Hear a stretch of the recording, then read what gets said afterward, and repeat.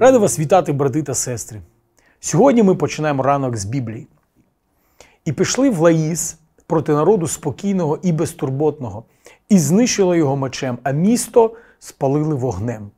Нікому було допомогти, тому що він був віддалений від Сидона і ні з ким не мав справи.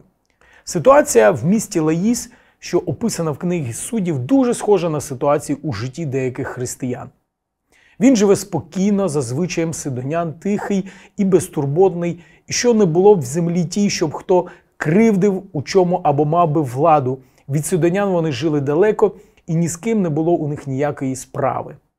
Це місто захопили 600 озброєних мечем людей з коліна Данова. Ніхто не прийшов допомогти цьому місту, так як ні з ким у них не було справ.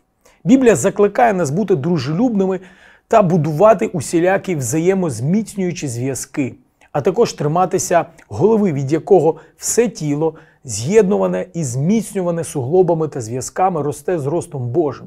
Також нам треба бути відповідальними за своє життя та життя своїх близьких, бо написано, що безтурботність нерозумних погубить їх.